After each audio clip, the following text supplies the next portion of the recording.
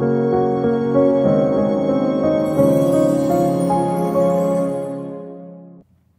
want to welcome you. We're looking at another story or another message from the Bible regarding uh, wrong things Christians believe. We're looking at Matthew chapter 5, verses 45 today.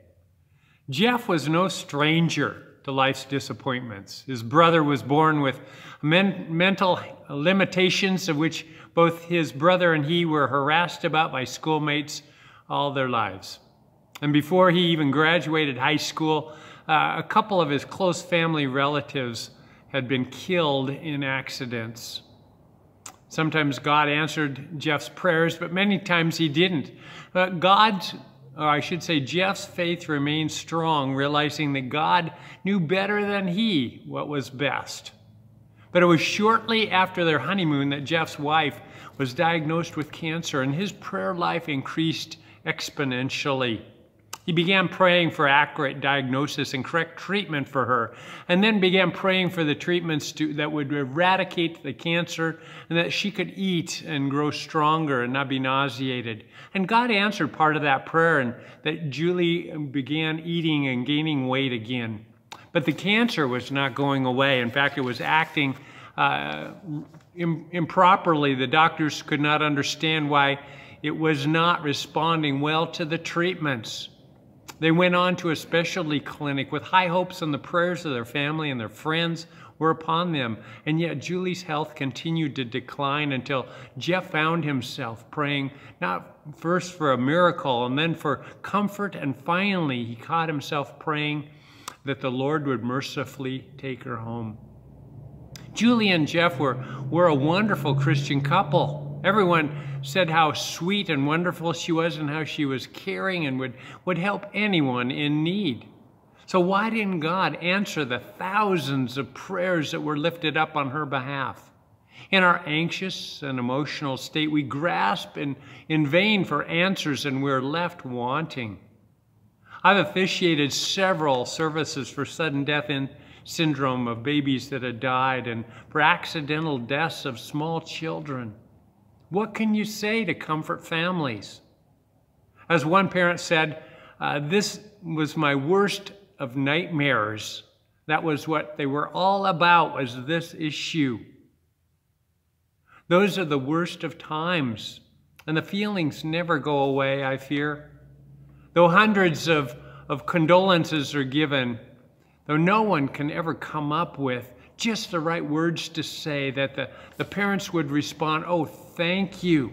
That's just what I needed to hear. I'm okay now. No. It'll only be through God that can help uh, us through those issues and times. And thankfully, we can be sure He will because we can't fix the problem ourselves, but we can be instruments of God's love by praying and being there for them, but we can't take their pain away.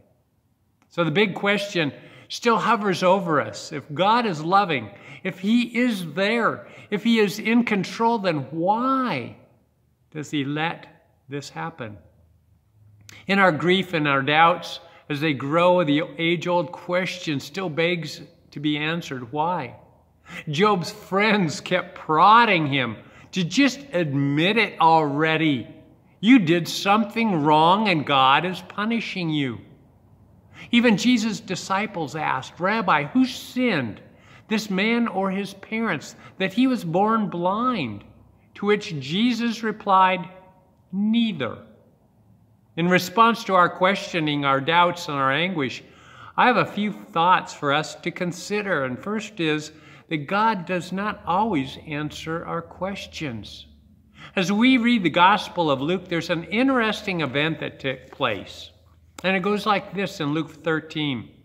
Now there was some present at that time who told Jesus about the Galilee, Galileans whose blood Pilate had mixed with their sacrifices. And Jesus answered, Do you think that those Galileans were worse sinners than the other Galileans because they suffered this way? I tell you, no. But unless you repent, you too will perish. Or those 18 who died when the tower of Siloam fell upon them. Do you think they were more guilty than all the others living in Jerusalem? I tell you, no. But unless you repent, repent, you too will perish. Under the heavy hand of the Roman control, the Jewish people were looking intently for the coming Messiah to overthrow this brutal occupation. And this passage speaks of a group of Galileans who must have participated in a covert uh, revolutionary activities, were captured and executed. Their blood was mixed with the blood of the sacrificed animals, implying that these devout Jews had come to the temple in Jerusalem to offer sacrifices to the Lord. But Pontius Pilate had captured them, ordered their deaths. What an outrage the people must have clamored. These were good, devout brothers who were honoring our Lord. How could such a thing happen? Was God possibly passing judgment upon them for doing something bad? Paraphrasing Jesus' response to their questions, do you think they were worse sinners than all the others because they suffered this way? Can you believe that life's sufferings are all a result of God's justice upon those who do evil? If so, then what about the accident that happened at the tower by Siloam Pool that fell and killed 18 people.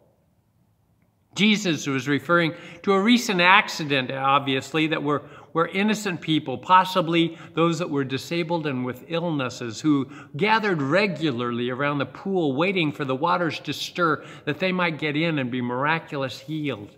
How tragic it must have been if it were those that were trusting the Lord for healing instead had suffered such a random accident. And so the people continued asking, why do bad things happen to such good people and innocent children? The typical answers are, it was an act of God, which is what insurance companies call acts of nature. Another explanation is that the devil did it that people were touched by the influence of evil, or that it was a result of something that they had done, and God was punishing them for it. In our current society, it might sound more like this it's karma, a balancing of something you did is paid back to you, a good for a good or a bad for a bad. Interestingly, Jesus doesn't answer the question in, the, in any of those ways. Not an act of God, not that the devil did it. And he plainly rules out that it was the bad that people did when he says, I tell you, no. In fact, he doesn't answer the question at all. He doesn't share the meaning of why those people happened uh, to die. But what he does do is he tells the people who are still alive and asking those questions, he says this But unless you repent, you too will perish. By his silence, he's telling us that tragedies are a part of life. Life is fragile, it's fleeting, and should be appreciated as a precious gift tragedy does get our attention that this earth is not our home. So we must look beyond it to the relationship that we have with an eternal God. Secondly, this world is a fixer upper, it's a mess. I remember back in the 60s uh, driving towards Seattle and seeing the skyline from a distance and looking at it and seeing how majestic and beautiful it was.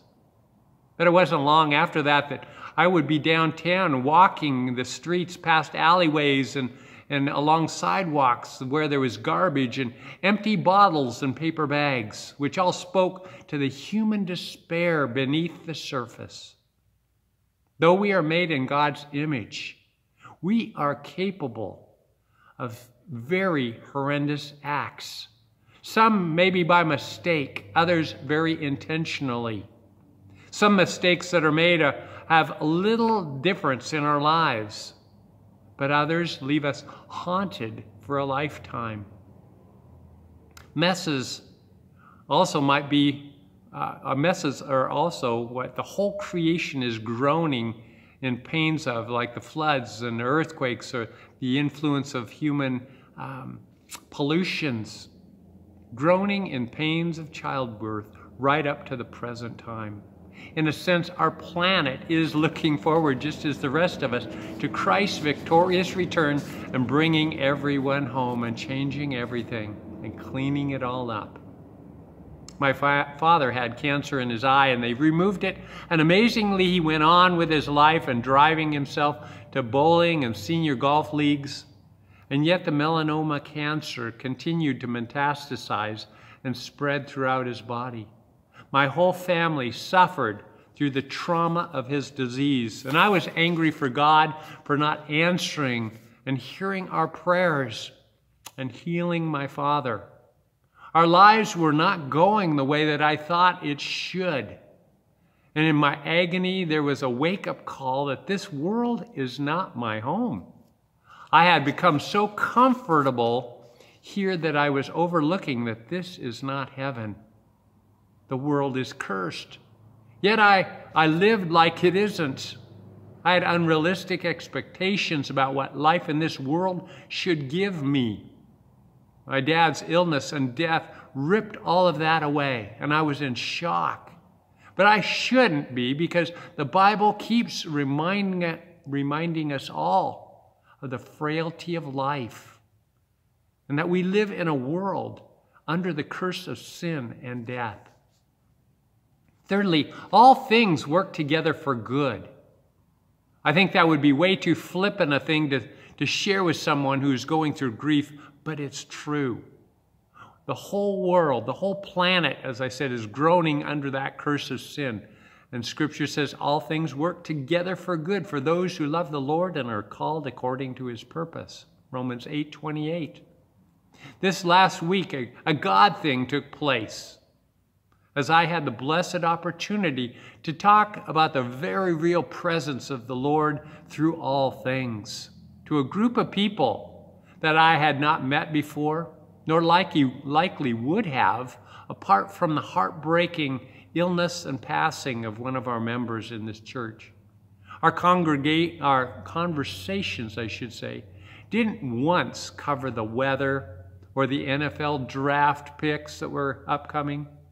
The family was ready, anxious even, to hear how Jesus came into the world for just such a moment in their lives as this, and meets them there bringing the message of eternal hope hope for their loved one, and hope for their grand reunion one day. And my last point is that there is no obstacle outside of God's love, no matter what our suffering it will never keep away God's love for us. Paul shares that in Romans 8:35 and 36 through 39. Who shall separate us from the love of Christ? Shall trouble or hardship or persecution or famine or nakedness or danger or sword? No. In all these things we're more than conquerors through him who loved us. For I am convinced that neither death nor life, neither angels nor demons, neither the present nor the future, nor any powers, neither height nor depth, nor anything else in all creation will be able to separate us from the love of God that is in Christ Jesus our Lord. Nothing can separate us. When you're angry with God, when you refuse to talk to God, He is still loving you. For your sakes, we're being considered sheep to be slaughtered in verse 36. Paul isn't talking platitudes here. He had faced death numerous times and encouraged the deaths of Christians before Christ got a hold of his life. Paul knew how dangerous it would be to follow Christ and now teaches us that good can come through the worst of circumstances. I know it shouldn't. But every tragic situation shocks me out of my complacent thinking that earth is my forever home. And I cry out, Why, God? And I get angry with him because that's not the way things should go. And then I'm reminded of what Peter says Dear friends, do not be surprised at the fiery ordeal that has come upon you to test you, as though something strange were happening to you. But rejoice inasmuch as you participate in the suffering of Christ, so that you may be overjoyed when his glory is revealed. Paul, or Peter, I should say, reaffirms that thought by saying, What I mean, brothers and sisters, is that the time is short. For now on, though, from now on, those who have wives should live as if they do not, those who mourn as if they did not, those who are happy as if they were not, and those who buy something as if it were not theirs to keep, those who use the things of the world as if not engrossed in them, for this world in its present form is passing away. 1 Corinthians 7. I know I have an obsession, if you will, obsessive view of this life that it should be comfortable and happy. And I think that's perhaps an influence of the society around us. And it is evident by the, the priorities of my prayers when I pray for health or status quo or my happiness, believing God's on my side and He'll do anything to protect me and my own from pain and suffering. And I'm certain, however, that that was not the focus of the Christian prayer life in that first century Christian community. God wasn't there to keep them from sufferings. No, He was there to hold them up through all things. If you were looking at Jesus right now in the face and he put his hand upon your shoulder and said, It's all going to be okay, would you believe him? Would you have peace in your heart? Would you be able to forget everything else and just rest in that moment? Well, let me tell you, the Bible has told us that. You may not see it now, but everything will work out together for good is the Lord's words for us today. And I pray that you live that today, trusting through all things He will be there with us. That He doesn't always give us the answers, but trust that He knows the right answer to give us. I pray that you go with the Lord this day and always, trusting and relying upon Him. In Jesus' name, amen.